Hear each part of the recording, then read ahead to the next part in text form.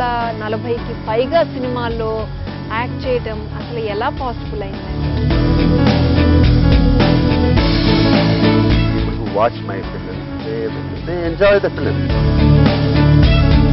అసలు మీకు మూవీస్లోకి రావాలని ఎప్పుడు అనిపించింది?